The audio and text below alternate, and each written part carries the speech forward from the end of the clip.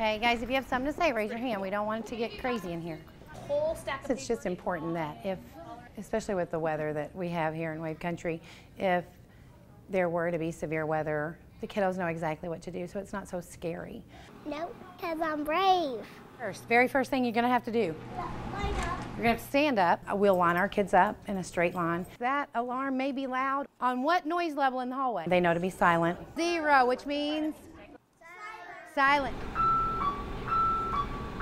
Or it may just be Mrs. Bobo coming over the announcements. It is now time for the tornado drill. Stay together, stay close. And then we'll just, we'll head towards the stairway. Come on, good job, guys.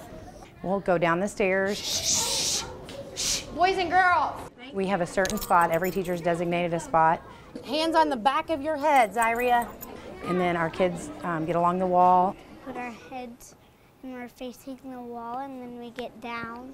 We wait there in the tornado position until the all clear is announced. Because we don't want to mess up our body. Good job.